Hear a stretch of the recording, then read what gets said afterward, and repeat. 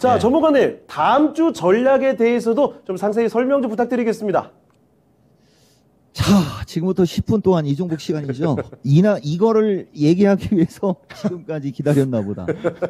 제가 오늘은 좀 긴장을 좀 여러분들 풀어드리기 위해서 아까도 보면 이렇게 종목 진단할 때 말씀 드리겠습니다. 뭐 말씀 드립니다. 이렇게 얘기하지 않습니까? 어떨 때는 드리고 싶습니다라고 할 때가 있거든요. 저는 드립니다. 드리겠습니다. 이게 저의 뜻이 들어간 거니까 종목 진단 받는 분들은 그 점을 잘 참고하세요. 드리고 싶다라고 하는 것은 강력함이 떨어져요. 강력함이 떨어지고 드립니다.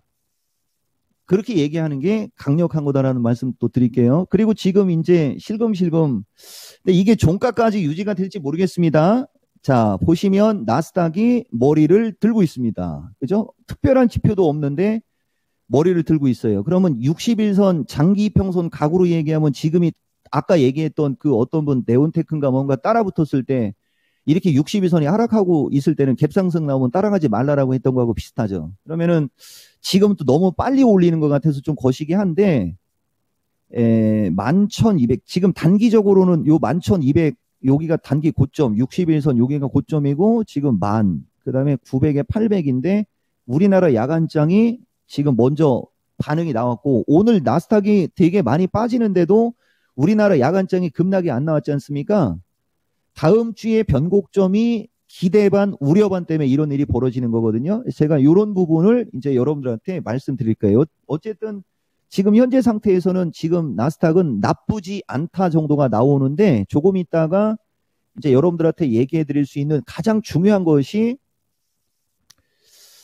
이종복이 사진 때문에 좀 안 안 될 수도 있지만 요거거든요. 요건 내가 이쪽으로 줄여 놓을게요. 지금 보시면 아까 나스닥이 약했던 게 아까 마케팅에서 얘기했듯이 테슬라, 알파벳, 메타 그죠? 어, 요런 쪽이 약했었지 않습니까? 마이크로도 마찬가지고. 근데 지금 얘들이 개파락의 양봉으로 전개가 되니까 나스닥이 강보합으로 빠르게 지금 전환되고 있다. 이렇게 얘기해 드리는 거예요.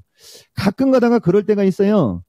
선물이 강하, 선물이 강해서 미국 주식이 움직임이 좋아진다가 아닙니다. 미국 주식이든 우리나라든 우리나라는 더욱더 주식이 잘 움직일 때 선물이 잘 움직이는 겁니다. 주식이 안 빠지면은 선물도 안 빠져요.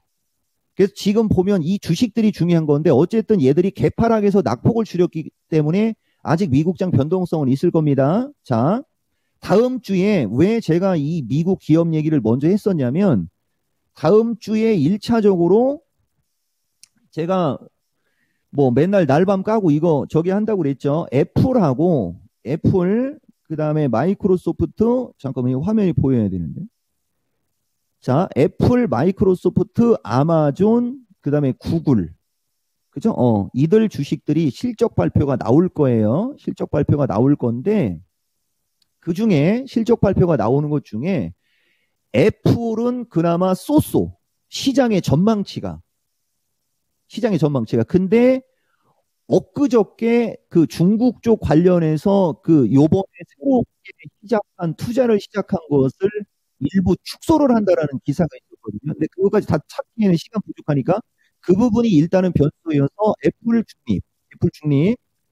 그다음에 마이크로소프트 보시면은 여기 보시면 시장 전망치를 얘기해 드리는 거예요. 애플은 맑고 마이크로소프트가 흐리고 메타가 비가 온다. 뭐 이런 식으로 시장 전망치 나오죠. 시장 전망치를 보시면. 그 다음에 또 이쪽으로 내려오다 보면 유독 메타 쪽. 그죠? 어, 넷플릭스는 실적이 좋게 나왔어요. 네, 유독 메타 쪽하고 희한하게 마이크로소프트가 요새 좀 그런데 아마존 보면 페덱스 쇼크 넘을까 하면서 이제 보이시죠, 여러분? 예. 네. 그리고 아마존하고 아까 얘기 드렸던 그들 주식들 중립 이하. 그다음에 애플은 중립 중립 so so 정도. 그러니까 다음 주 미국 시장은 약간 하락할 확률이 조금 높은 거죠. 우리가 그걸로 봤을 때. 근데 미국장의 하락할 확률이 높은데 이 추세가 미국장의 추세가 오파동에 하나 둘 셋 넷 사이로 올라가고 하나 둘셋 3일 빠지는 이게 도찌로 보이는 게 저도 참 이건 여러분 도찌가 아니거든요. 근데 저게 도찌로 보이는 시장이에요. 그러면 오파동으로 왔을 때 지금처럼 불안불안한 뉴스가 나오고 불안불안한 상황이면 급락이 나왔어야 되는데 보다시피 계속 하반 경성을 주죠. 그러면 여기 어디에 시장일 수도 있다라고 우리가 기대를 할 수도 있는 거죠. 확률은 떨어지지만 저는 여기 어디에 시장이 아니겠느냐 정도로 저는 예측을 하고 있거든요. 살짝 한번 밀리는 거죠, 이렇게. 살짝 한번 밀렸다가 어느 순간에 급반등이 나오고 다시 약간 밀리고 다음 방향성 타진 이런 식으로 여기서 바로 이렇게 올라가는 게 아니고 그죠? 어 그리고 기업의 실적치도 저렇고 그 다음에 이제 우리나라 수급 한번 볼게요. 우리나라 지금 보시면 변곡점하고 수급 중에 우리나라는 수급이 지금은 막 여러 가지 이슈를 여러분들한테 막 던지는 겁니다. 결론은 나와 있어요. 이종복은 결론은 나와 있는데 그걸 이제 상대방들한테 이해시키기 위해서 이런 설명을 하는 거예요. 보다시피 수급이 환율이 지금 1,400원 위에 있죠. 근데 외국인들 보시면 최근 9월 29일부터는 이게 크게 샀어야 되는데 크게 샀어야 되는데 어쨌든 작아도 여러분 그죠? 작아도 누적으로 볼게요. 이런 부분이 긍정적인 면은 있다. 이런 얘기 해드리는 거예요, 여러분. 긍정적인 면은 있다. 그러면 최저점을 찍은 지점을 우리가 9월 30일로 놓고 보면 2조 2천억을 외국인들은 사고 있지 않습니까? 어, 이런 게 긍정적인 건 있다. 그 다음에 선물. 선물은 매도가 컸었는데, 그죠?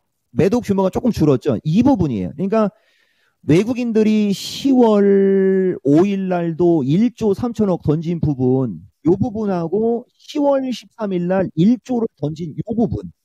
요것은 그동안에 매수를 풀어준 게 된 거죠. 그죠? 어. 상방포를 풀어버린 겁니다. 그럼 지금 보시면 하방으로 구축은 돼 있으나 아까 주식을 2조 가까이를 샀죠. 그러면 여기서 장이 급락해버리면 주식 손실 나니까 얘들도 이번에는 장사가 어려워지는 겁니다. 이게 외국인 누적수급 법칙이라고 하는 거거든요. 보다시피 6월 달서부터 보면 외국인들은 선물을 2조 넘게 팔았다가 본전 근처로 아니 그 고압 수준으로 왔고 또 2조 넘게 팔면 고압 수준으로 오고 이렇게 되죠. 그러면 이번에도 2조 넘게 팔았으니까 잘하면 고압 수준으로 올수 있다는 기대감은 있죠. 주식은 찔끔찔끔이라도 매수하고 있고 업종 대표주들은 이미 나락으로 가 있고 이성적으로 우리가 판단을 했을 때는 반등의 기대감이 있는 쪽이 판단이 되는 거예요. 이성적으로는 여러 가지 지표와 여러 가지 상황으로는 반등할 수 있다라고 분명히 이성적으로는 알려주고 있는데 분명히 이성적으로는 알려주고 있어요. 근데 자꾸 이쪽에서 갑자기 그렇게 그 비둘기적인 혹은 중립적이었던 사람이 초강력 매로 돌변해버리고 채권은 얼, 어, 원래부터 올라가고 있었는데 10년물 채권 그죠? 2008년 금융위기 때 이후 최고치로 쳐올렸다 하면서 그런 기사나 나오고 그러니까 제가 그게 이제 어처구니가 없으니까 그런 게 변동성 요인이지 않습니까? 여러분들한테 오늘 마켓텐에서 그런 뉴스와 기사에 휘둘리지 말고 정해져 있으니까 그들을 보고 제가 오늘 여러분들한테 제시해 준 그 네크라인 있지 않습니까? 그거 보면서 시장 대응을 하는 게 옳을 것 같아서 오늘 아예 그냥 작정을 하고 얘기해 드린 겁니다. 그래서 지금까지 얘기해 드린 여러 가지를 종합으로 봤을 때 지난번에 말씀드렸듯이 주식 시장은 280에서 300 위로 조금 더 올리면 305까지 아래 따는 275 지난번에 말씀드렸던 그 지수 밴드 중기적으로 275, 305, 좀 단기적으로, 그럼 여기서 단기적인 것은 9에서 13일 정도 코스로 보면 될 것 같아요. 조금 짧게는 280에서 300 정도, 거기에 중심을 290, 지금 딱 290이지 않습니까? 그러니까 우르도 갈 희망이 있고 아래로 다시 밀릴 수 있는 우려도 있는 게 반반이지만 여러 가지 내용과 여러 가지 상황을 종합해 보면 내려가는 건 두렵지 않다. 오히려 올라가게 되면, 오히려 올라가게 되면 300에서 305 막 이렇게 올라가게 되면 여러분들이 가지고 있는 주식들의 비중을 좀 줄여서 조금 더 안전하게 대응할 수 있는 쪽으로 교체를 한번 해보셔라. 이런 말씀 드리고 마켓텐에서도 누차 강조를 드렸지만 2차 전지 폐배터리, 인공지능, 로봇, 자율주행, 그 다음에 반도체, 소재, 재료. 그죠? 어, 그런 쪽 플러스 이제 장이 좀 긍정적으로 될 것 같은 어떤 기대감이 강할 때 제약, 메타버스 막 이런 식으로 여러분들이 관심을 가지신다면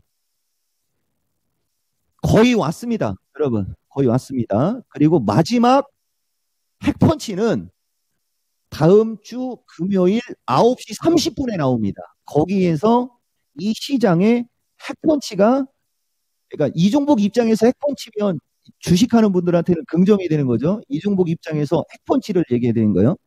이종복 입장에서 핵펀치를 나낼 수 있어 보이면 바로 실시간으로 말씀드리도록 하겠습니다. 지금 현재 상태에서는 반판 치킨. 그죠? 예, 요렇게 말씀드리겠습니다.